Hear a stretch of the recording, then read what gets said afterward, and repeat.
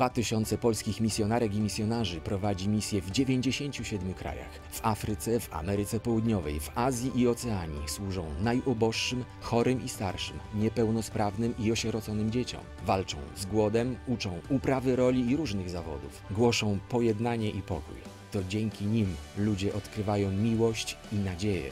Pomóż polskim misjonarzom. Wyślij SMS o treści misję na numer 72032.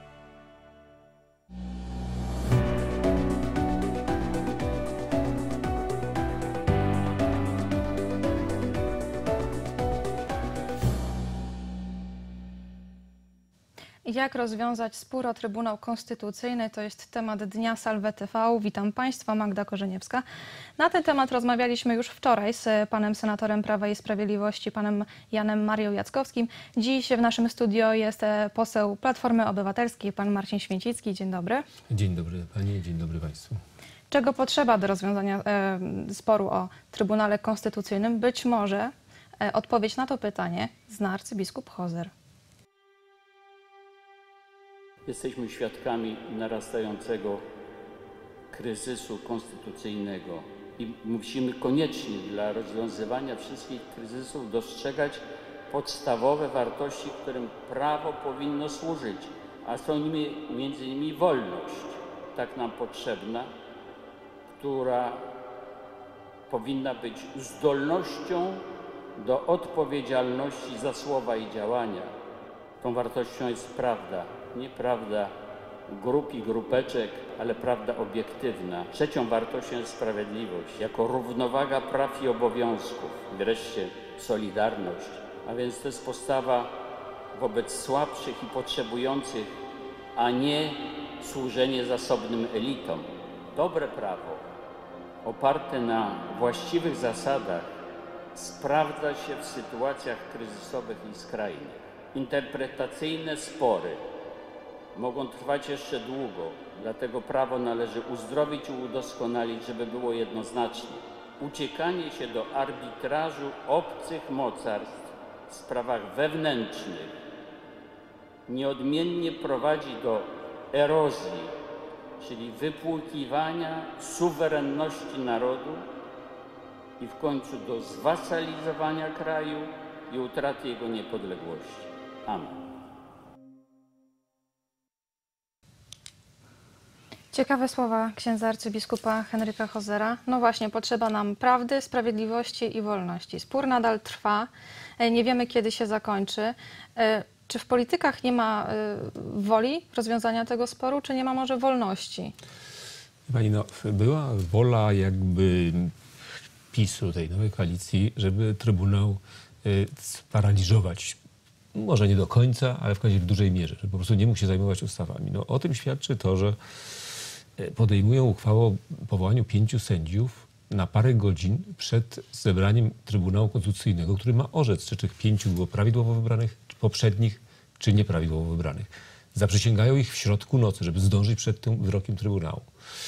Y, Potem następnie prezydent zapowiada, że będzie specjalna powołana podkomisja w ramach Narodowej Rady Rozwoju, która zajmie się wypracowaniem jakichś lepszych rozwiązań dotyczących Trybunału Konstytucyjnego. Tymczasem, nie czekając na tę komisję, nic nie jest powołane. W ciągu trzech dni wprowadza się ustawę, która de facto paraliżuje Trybunał Konstytucyjny. Y, Część istotnych bardzo poprawek wprowadza się już w trakcie posiedzenia komisji, czyli bez pierwszego czytania, bez debaty plenarnej. Nie uwzględnia się żadnych uwag, żadnych uwag y, wszystkich takich gremiów prawniczych jak Najwyższy Sąd, Krajowa Rada Sądownicza, Krajowa Rada Radców Prawnych, Naczelna Rada Adwokacka, Rzecznik Praw Obywatelskich jeszcze jakieś tam fundacje rozmaite, które się za to wzięły. Więc raczej wola była, było jakieś błędnie przyjęte założenie, że Trybunał to jest jakaś izba polityczna, która została wybrana po to, żeby blokować, skoro przegrany jest prezydent i przegrany jest parlament, to zawsze został Trybunał, który będzie blokował rozwiązania Prawa i Sprawiedliwości, które ma, e, prawda, większość. Otóż to jest Ale- ale pani- nieprawda, nieprawda, bo Trybunał wielokrotnie blokował Platformę Obywatelską, wielokrotnie podejmował wyroki, które y, były sprzeczne z naszym Platformą Obywatelskiej usta ustawami, które Platforma przyjmowała. Co więcej, część ja tych tutaj- sędziów Trybunału, jeszcze powiem ostatnie zdanie, część tych sędziów Trybunału była wybrana z głosami pana Kaczyńskiego i głosami Prawa i Sprawiedliwości. Oni też głosowali za Kieresem, za niektórymi innymi, dostawali po 400 głosów, po 300 kilkadziesiąt głosów, więc to nie był Trybunał jakiś polityczny. Trybunał w ogóle nie jest jego rolą y, y, bycie y, politycznym Trybunałem.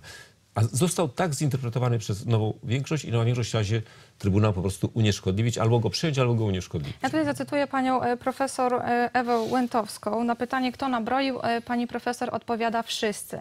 E, Ta wojna o Trybunał pokazuje, że nikt nie ma monopolu na rację. A na pytanie, jak pani to rozumie, pani Łętowska odpowiedziała w ten sposób, tutaj również cytuję, pisząc nową ustawę o Trybunale w 2015 roku, poprzednia władza ewidentnie chciała oszukać, wybierając na zapach dwóch sędziów. Wówczas Prawo i Sprawiedliwość natychmiast zaskarżył to do Trybunału i bardzo słusznie postąpił, bo tak właśnie to powinno działać w systemie demokratycznym.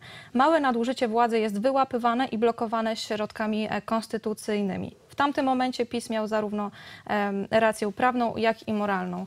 A może jednak e, politycy z jednej i z drugiej strony, skoro e, sami s- sędziowie Trybunału Konstytucyjnego w stanie spoczynku mówią, że nabroili tutaj wszyscy, no to może warto uderzyć się jednak w piersi i podać sobie ręce. Z, z całą pewnością Platforma tutaj też nabroiła i też się i cały czas się bije w piersi. Nabroiła w rozmaity sposób. Znaczy jeden, że, że przyjęła ustawę, która...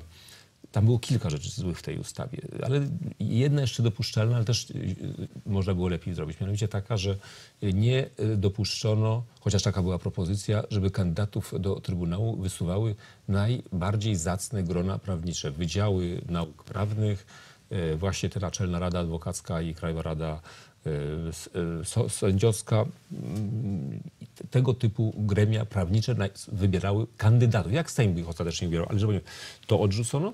A po drugie to, że wybrano tych pięciu sędziów, czyli jak gdyby dwóch wybrano y, na zapas. Tylko, że Platforma Obywatelska raz się bije w piersi. Rzeczywiście uważam, uważam ja, ja sam wtedy miałem wątpliwości. Pytam kolegów, jak byście to zrobili. No, wie pani, także to było, źle było zrobione. Zgadzam się, pani Mentowska ma tutaj, pani profesor ma tutaj rację. Tylko, że e, Platforma te błędy uznała. Trybunał wydał wyrok, że dwóch sędziów wybranych jest. Nadinterpretacja została przyjęta tej ustawy, że, że ona upoważnia do wyboru sędziów już w następnej kadencji, którym kadencja zaczyna się w następnej kadencji Sejmu. I Platforma się stosuje do tego i wycofuje, i bije się w piersi, i przeprasza, i, i stosuje się do wyroków Trybunału. Ale z drugiej strony nie chce iść na kompromis, chociaż było tyle propozycji ze strony i Kukiz 15 i Prawa i Sprawiedliwości. Ze strony Prawa i Sprawiedliwości nie było żadnej propozycji kompromisu, Ale- który mieścił się w regułach prawa. Ten wyrok Trybunału, o którym mówi pani Łętowska, który To uznał, może że... Platforma wystosuje. Znaczy, pani powiem, ten wyrok Trybunału, który, o którym mówi pani profesor Łętowska, że y, powiedział, że Platforma naruszyła właśnie zasady konstytucyjne, wybierając dwóch na zapas. Zresztą to nie był wniosek już PiSu, bo PiS wycofał ten swój wniosek. Myśmy, złożyli, myśmy podpisali się z powrotem pod wnioskiem PiSu, żeby to sprawdził Trybunał. I Trybunał sprawdził i powiedział, żeście narobili błędów, nad, nadinterpretację, że się zrobili, wybraliście dwóch y, y, ponad to. I myśmy się do tego zastosowali, do tego wyroku Trybunału. A PiS się nie zastosował, tylko wybrał dzień wcześniej na wariata w środku nocy pięciu sędziów i prezydent ich w środku nocy zaprzysięgał, żeby w ogóle nie czekać na ten, na ten wyrok Trybunału, który orzekł, że Platforma jest w błędzie i dwóch wybrała za dużo, to PiS chciał wybrać od razu wszystkich trzech, więc No dobrze, ale to w, te, w tej sprawie, y, w tej sprawie błędy, błędy popełnił każdy. Tylko co teraz zrobić, żeby jednak społeczeństwo y, było jednością, żeby nie było podzielone, bo społeczeństwo jest znowu podzielone. No, był krok zrobiony, właśnie myślałem, że to, że to chodzi o jakieś znalezienie porozumienia, żeby niech w takim razie Komisja Wenecka, y, która składa się z najwybitniejszych prawników, konstytucjonalistów europejskich, która opiniuje no, bardzo wiele rozmaitych aktów prawnych, opiniuje, ona nie ma mocy. Tutaj mm, ksiądz arcybiskup Hozer troszeczkę przesada, że obce mocarstwa coś nam narzucą. Obce mocarstwa niczego nie narzucają. Obce mocarstwa dają uwagi. Ale z drugiej strony, czy Polska jest na tyle słabym państwem, żeby się odnosić do opinii zagranicznych y, komisji? No, jak jesteśmy członkiem Rady Europy, y, to jest organ doradczy Rady Europy, to mamy pełne prawo się odnieść. No Francja teraz na przykład wprowadza jakieś ustawy, chyba to są jakieś antyterrorystyczne, czy o stanie wyjątkowym i też Komisja Wenecka ich opiniuje. Oczywiście główny cel tej komisji to było raczej te kraje no, wstępujące na drogę demokracji, te postkomunistyczne, wszystkie e, ustawy konstytucyjne, jakieś inne ustawy. Ona tym się głównie zajmowała, ale nie tylko, bo na przykład właśnie Francją się też za- zajmuje. Tylko też trudno jakby Więc- traktować, e, nie chcę mówić serio, e, opinię Trybunału, skoro w tym, nie, nie Trybunału, przepraszam, Komisji, Komisji. Weneckiej, skoro w, w składzie komisji znajduje się Rosja, Azerbejdżan, państwa, które same tak naprawdę również mają problemy wewnętrzne. Znaczy nie wiem, czy no, tam jest akurat wśród- tych, no, tam jest 120 chyba wybitnych prawników, ale, ale nie oni szykowali ten wniosek, potem przyjęte zostało chyba tam jednogłośnie, może jeśli był jeden głos jakiś, jakiś wątpliwy, ale, y, y, który miał wątpliwości, ale przyjęte zostało przez całe gremium, przez te wszystkie kraje demokratyczne i to nie jest tak, że one nas do czegoś zmuszają. Nie ma żadnego musu. Możemy się nie zastosować, odrzucić y, to wszystko, tylko że są konsekwencje, bo na tę opinię Komisji Weneckiej czeka Komisja Europejska i Komisja Europejska może nas, jesteśmy w klubie Unia Europejska, gdzie obowiązują pewne zasady. I ten klub może powiedzieć, no kochanie, nie stosujecie się do zasad, to w takim razie odbieramy wam prawo głosów. To w takim razie odbieramy wam jakieś środki. To są jakieś krańcowe rzeczy, ostateczne, ale na tej drodze się obecnie właśnie znaleźliśmy. Y, Po, y, i, Komisja Wenecka gdyby potwierdza, że jeśli, jeśli my nie zastosujemy się do, w dostatecznym stopniu prawda, do tych zaleceń komisji, to faktycznie może nam to grozić, że takie środki będą podjęte. Aczkolwiek powiadam, to trzeba zgodę wszystkich krajów, czyli nawet Węgrzy się muszą A to zgodzić. nie jest w jakiś sposób szantaż? Nie, to nie żadna, my, my, my mamy wolną wolę. My możemy wybrać, że my nie chcemy tego. Tylko powiem w takim razie, my chcemy y, was w naszym klubie. Jak wy łamiecie reguły tego klubu, to dziękujemy wam. Nie, nie będziecie w naszym klubie, nie będziecie w Unii Europejskiej. To jest, to jest, i, I widzę, że niektórzy, pani Pawłowicz na przykład już chce obliczać, że nam się nie opłaca w ogóle być w Unii Europejskiej. Y, Wielka Brytania, nasz nowy główny sojusznik, się też zastanawia, czy nie wyjść z Unii Europejskiej. Więc ja w ogóle widzę tutaj taką jakieś podskórne na pewno nie wszyscy w koalicji chcą wyjść i mówią, że wręcz odwrotnie, i, ale, ale u niektórych przynajmniej pojawia się takie zjawisko, że może będzie dobra okazja, żeby z, z, z tą Unią się pożegnać y, i, i potraktować to jako, jako prawda, przeszkadza im ta Unia. Unia niczego nie narzuca. Nie chcesz być, możesz wyjść z Unii. No dobrze, to co w takim razie zrobić, żeby uzyskać e, tę zgodę? Czy Platforma e, Obywatelska jest w ogóle w stanie pójść na kompromis e, z Prawem i Sprawiedliwością i na przykład ustąpić? Ale proszę znaczy my, my, my, na co my mamy ustąpić? My i tak nie mamy, w Sejmie mamy mniejszość, także nie mamy na czym nawet występować. My w Sejmie Ale prostu- jednak spór polityczny mimo wszystko trwa. To, to jest spór polityczny i, My i- oczekujemy, i, że to, jeśli- To, to, toczony tak naprawdę na scenie medialnej. Pani, jeśli- jeśli, wszyscy y, i wewnętrzne ciała, te prawnicze, y, Rada Sądownicza, te wszystkie Rada Radców Prawnych, adwokacka, Sąd Najwyższy, y, wydziały prawnicze, organizacje rozmaite praw człowieka, bo Trybunał w końcu broni praw człowieka. Tu właśnie się mówi, że było wiele ustaw, w których on bronił prawa ludzi do zrzeszania się w związki zawodowe, do kwoty wolnej. Właśnie to, co PiS postulował politycznie, to Trybunał orzekł y, merytorycznie, że musi, że kwota wolna jest za niska. Musi uwzględniać minimum i to, to minimum nie może być opodatkowane. Ludzie muszą mieć te pieniądze. W demonstracji jakichś y, wolności, y, więc wi- w sprawach opłat za drugi jest kierunek studiów. Tutaj Trybunał bronił praw ludzi do tego, do, do rozmaitych tego typu rzeczy. Y, Więc y, y, Ale samo, samo nawet środowisko y, tak naprawdę y, prawników i sędziów, zresztą w stanie spoczynku, tak, sędzia Stępień, sędzia Johan, y, w tej sprawie jest podzielone. Znaczy, że jest- co, że, że, że prawo tak naprawdę, polskie prawo, polska konstytucja jest nieidealna?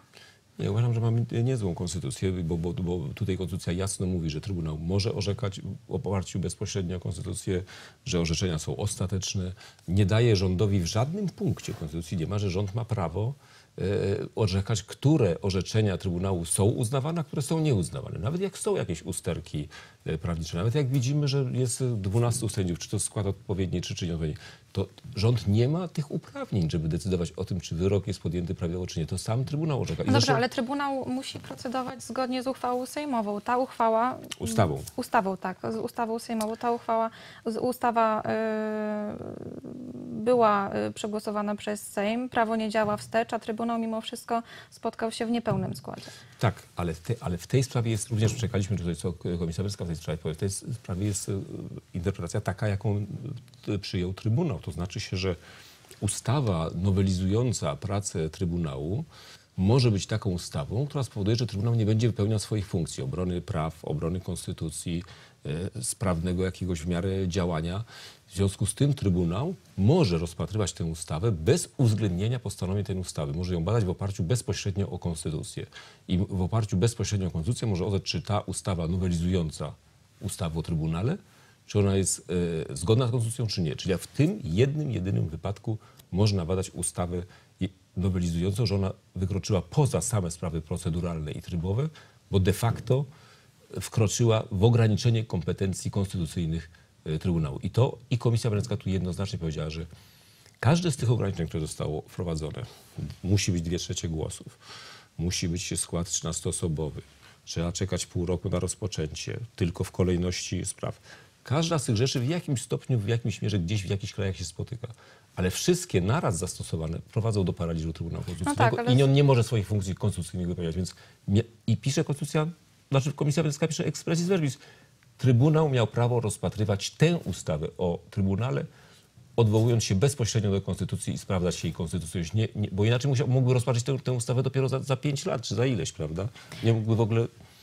E, Za chwilę wrócimy do rozmowy, ale e, w tym momencie zobaczmy, jak e, polskie społeczeństwo i warszawiacy podchodzą do sprawy Trybunału Konstytucyjnego. E, Jakie znaczenie ma dla Ciebie sprawa Trybunału Konstytucyjnego? E, nie przywiązuję do tego większej wagi. Po prostu wydaje mi się, że zbyt dużo się o tym teraz mówi i żeby każdy mógł jakąś taką indywidualną opinię sobie wyrobić. Mnie to dużo nie obchodzi tak naprawdę. Tak naprawdę żadne, bo ludzie chcą zobaczyć zmianę, która dokonuje się w społeczeństwie, ale niekoniecznie w takim wymiarze czysto prawno-ustrojowo-formalnym. Dosyć spore, według mnie. Dlaczego?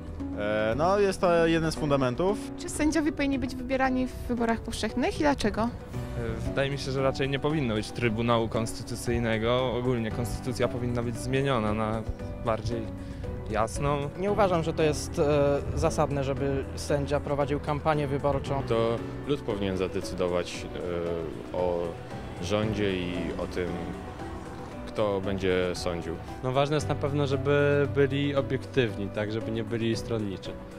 A jak to wybierać, to, to już kwestia jest do większego przemyślenia. Ja myślę, że tutaj propozycja klubu Kukiz 15, e, żeby byli wybierani e, przez większość sejmową dwóch trzecich lub jeżeli to nie przyniesie rezultatu przez e, Krajową Radę Sądownictwa, wydaje się być najrozsądniejsza. Nie jest dużo opinii na ten temat. Ja nie jestem w stanie powiedzieć tak jednogłośnie, jak powinno być, bo się na tym zbytnio nie znam, a, a jeśli się nie znam, to staram się nie wypowiadać.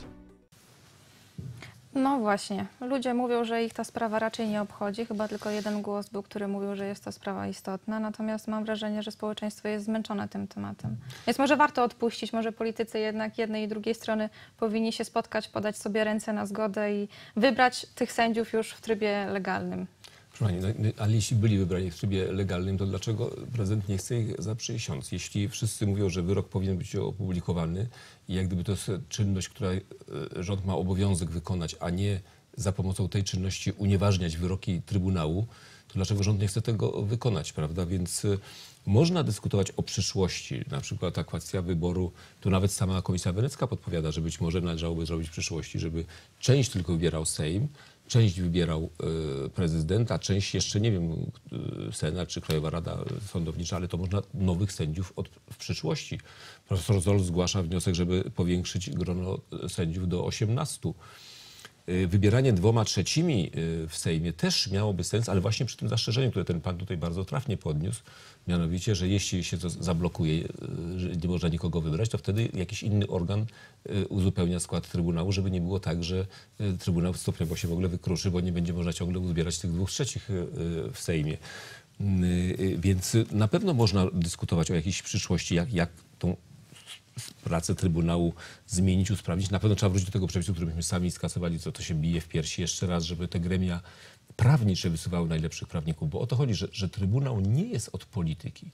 Trybunał nie jest od y, rozsądzania e, prawda, z jakąś strony- większością taką czy jaką. Trybunał jest od tego, że, czy coś jest zgodne z prawem, czy nie. To są najwybitniejsi, powinni być tam najwybitniejsi polscy prawnicy, którzy orzekają, czy przypadkiem ustawodawcy w swoim zapale twórczym, wie pani, reformowaniu, w swoim, jak ktoś napisał kiedyś nie o naszym Trybunale, tylko w ogóle o Trybunałach Konstytucyjnych. Pani Łętowska chyba też to powiedziała, przytoczyła to, ale to było amerykańskie jej powiedzenie. Że Trybunał chroni nas przed szaleństwami ustawodawcy. Jak ustawodawca się zapędzi, rozszaleje, to wtedy Trybunał jest od tego, żeby go zatrzymać. Z drugiej strony y, y, zgadzam się tutaj, że Trybunał powinien być zupełnie apolityczny, natomiast sędzia Johan twierdzi, że akurat przy sprawie Trybunału Konstytucyjnego wpuszczono politykę właśnie do Trybunału. Y, No ja się z tym nie zgadzam w dalszym ciągu. To znaczy y, y, też patrzę na to, co Komisja Wenecka jest. Sto kilkadziesiąt, 140 parę artykułów tej opinii Komisji Weneckiej. I żaden z nich, żaden z nich nie krytykuje postępowania czy profesora Andrzeja Rzeplińskiego, czy samego Trybunału. Tam są krytyka jest poprzedniej większości, obecnej większości, rządu, rozmaitych innych rzeczy, ale nie ma, przykłady są z innych krajów przytaczane, najrozmaitsze rozważania o tych wszystkich y, sp- spornych sprawach, ale ani razu nie stwierdza Komisja Wenecka, że Trybunał wykroczył poza swoje kompetencje, y, czy zachował się niewłaściwie, niezgodnie ze standardami, więc i wręcz odwrotnie właśnie mówi, że w takiej sytuacji miał prawo badać bezpośrednio w oparciu o Konstytucję, że wyrok jest jego ważny, że powinien być opublikowany, że trzech sędziów prawidłowo wybranych powinno zasiadać, że prezydent powinien ich zaprzysiąść, bo to jest czynność ceremonialna, a nie dająca weto prezydentowi. Powołuje się tutaj na naszą konstytucję, powołuje się na zwyczaje międzynarodowe i pisze, że no nie było precedensu w ogóle w krajach tych cywilizowanych, żeby nie był publikowany wyrok Trybunału. A czy Platforma Obywatelska jest w stanie usiąść z posłami PiSu y, i, i powiedzieć, słuchajcie, my popełniliśmy błąd, wy popełniliście, popełniliście błąd, y, ale usiądźmy razem, zróbmy coś z tym problemem, mamy podzielone społeczeństwo, w końcu polityka to jest y, służba, która ma na celu dobro wspólne. Tak, ale więc jeszcze raz podkreślam, Platforma już to powiedziała, że był błąd. Jeszcze raz sam uważam, że no, krytykuję i potępiam w jakimś sensie tych kolegów, którzy poszli z taką ustawą. No że, dobrze, a usi- usiądziecie do stołu, Czyli czy nie? Platforma się wycofała z tego, bije się w piersi i uznaje wyroki Trybunału w tej sprawie w 100%.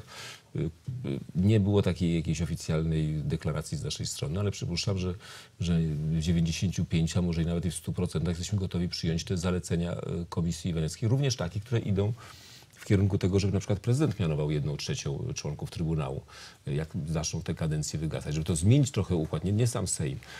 Żeby jest te- szansa, jest więc- szansa na kompromis? ale na, co do przyszłej ustawy też są, ale, ale te obecne sprawy, no trudno zrobić kompromis, wie pani, że opublikować pół wyroku. No. Tak idziemy na kompromis, wyroku nie publikujemy, tylko publikujemy pół wyroku. No, nie, nie ma takiej możliwości, albo musi być opublikowany, albo nie. I No tych dobra, to ile, ile może trwać ten spór jeszcze? Zatem nie upieramy się przy tych dwóch sędziach. Oni, oni już, już, już trudno powiedzieliśmy, że zrobiliśmy błąd, nadinterpretowaliśmy, chcieliśmy mieć na zapas. Faktycznie tak było. Chcieli mieć na zapas, bo nie wiadomo, kogo tam PiS wybierze, kogo zgłosi, kogo tego. Jeszcze przed wyborami, ale tak można było się spodziewać, jakie wyniki. Na wszelki wypadek wybierzmy jeszcze pięciu, bo się tam dwóch zwalnia na początku kadencji przyszłego Sejmu. Trybunał powiedział, że to już za wiele, chociaż myśmy mu bronili, że żeby nie było przerwy w pracach Trybunału, zanim się nowy Sejm pozbiera, zanim się wyszykuje, zanim to, to wybierzmy na zapas również jeszcze tych dwóch. Tak myśmy to argumentowali, że trzeba zachować ciągłość pracy. A Trybunał powiedział, wytrzymałby to la- e, Trybunał i trzeba było poczekać już następny Sejm swoich wybiera. I żeśmy odstąpili. Już tamtych dwóch się absolutnie nie upieramy. Tak, żebyśmy poszli na kompromis. Cofamy się z tamtych dwóch i gotowi jesteśmy dyskutować o przyszłych rozwiązaniach. Arcybiskup Hozer powiedział jeszcze e, jedną e, ciekawą rzecz. E, Polityka to służba e, słabszym, a nie służba elitom politycznym. E, Komu dzisiaj służą politycy w tym sporze? Trudno Znaczy- powiedzieć, że służą słabszym. Wie pani, y, Ten spór raczej osłabia społeczeństwo. absolutnie się z panią nie zgadzam.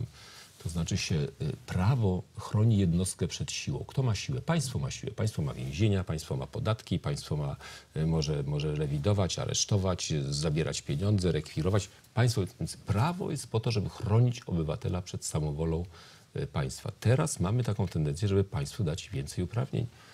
Całe media publiczne, przedtem jakiś był przynajmniej filtr, jakieś były rady nadzorcze, jakieś były kadencje. Teraz można y, odwołać kogoś, bo następnego dnia wieczorem zrobił zły program, następnego dnia rano się go odwołuje. Dziesiątki dziennikarzy są tak odwoływani. Ustawa inwigilacyjna, no bardzo delikatna sprawa, że każdemu można zajrzeć w internet, sprawdzać jego maile, y, etc. Miało to być pod nadzorem sądu. Ten nadzór sądu jest jakiś taki bardzo problematyczny, bo tylko po, sześciu miesiącach daje mu się zbiorczy zestaw i sąd może sobie tam zażyczyć ewentualnie zajrzeć do kogoś, co, co i dlaczego, a nie antycypacyjne y, sprawdzanie. Są, jest ustawa o prokuraturze, gdzie ręcznie, ręcznie prokurator generalny może sterować sześcioma tysiącami prokuratorów. Każde jego postępowanie może wstrzymać bądź mu nakazać, więc też jest jakieś Nie, wie pani, więc to prowadzi e, do tego, że obywatel jest osłabiona jego rola. Trybunał właśnie broni obywatela przed wszechwładzą państwa, przed, przed władzą prokuratora, yy, No właśnie to może w końcu warto za, zamknąć warto. ten spór o, o Trybunał Konstytucyjny. Trybunał jest bardzo tyle- potrzebny. Tak, no ale ten spór już niekoniecznie mimo wszystko dzieli. Społeczeństwo, polityków. Ja się, ja się zgadzam, żeby go zamknąć, ale, ale jest taka struktura jest w PiSie taka, że tam rządzi pan prezes. Jeśli pan prezes powiedzie, ja, ja, sądzę, że tam wielu kolegów się już, już ma dość tego sporu, absolutnie, tak jak pani wie. Pani rolnik, się, oni by poszli na jakieś... O, o, o, wyda, wydawało się, że pójście do tej Komisji Weneckiej, co, co minister spraw zagranicznych zrobił, że to jest taka próba. Jak Komisja Wenecka powie tak, no to w takim razie trudno. Chcieliśmy inaczej, ale zgadzamy się z Komisją Wenecką, przyjmujemy te ich propozycje.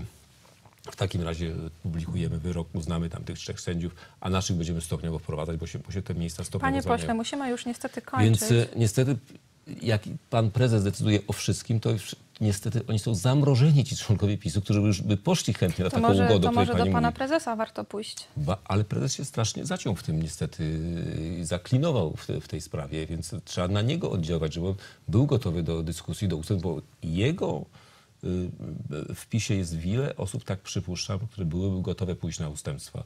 E, I nawet pani premier dość łagodnie występuje w sprawie tego Trybunału. Ale przypuszczam, że oni są pod wielką presją y, pana prezesa i ciągle się go jeszcze boją, nie, nie, nie, nie- nie przejęli samodzielnie tych stanowisk, które im naród powierzył. No dobrze, ale tych ustępstw z drugiej strony jednak e, niekoniecznie widać ze strony Platformy. Dwóch sędziów żeśmy zrezygnowali całkowicie. Jeszcze raz pani mówię, bijemy się w piersi za, za to, że, że te gremia prawnicze nie wysyłają e, prawników i jesteśmy gotowi dyskutować przyszły model jakiś e, bardziej, również nawet taki właśnie, że, że podzielimy się, że, czy dwie trzecie, tylko musi być jakaś rezerwowe rozwiązanie, czy prezydent, więc jesteśmy gotowi do takiej dyskusji, ale, no, ale nie możemy, jak mówię, publikować połowy wyroku, jak wszystkie gremia prawnicze i e, Komisja Wenecka teraz to potwierdza, mówią, że, że orzeczenie było prawidłowo i Trybunał miał prawo to podjąć i nie ma dyskusji, powinno, powinien być opublikowany I wyrok. tej nutki optymizmu e, w sprawie chęci rozwiązania sporu o Trybunał Konstytucyjny się trzymajmy. Moim e, gościem był pan poseł Marcin Święcicki. Państwu dziękuję za Dziękuję oglądanie i zapraszam do subskrybowania naszego kanału na YouTubie. Dziękuję Magda Korzeniewska, to był temat dnia.